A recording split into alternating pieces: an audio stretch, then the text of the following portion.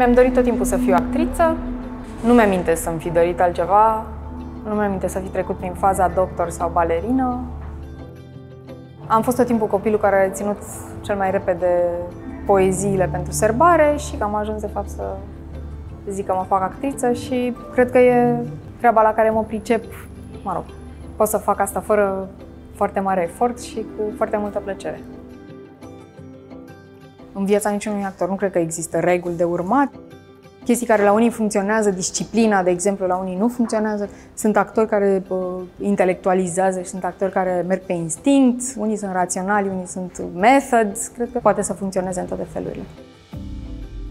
Cred că toată lumea răspunde același lucru la întrebarea dacă prefer teatru sau film.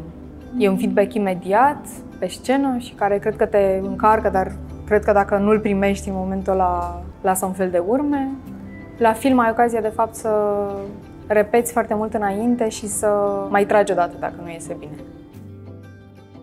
Eu am fost la TIF probabil începând cu 2005 sau 2006.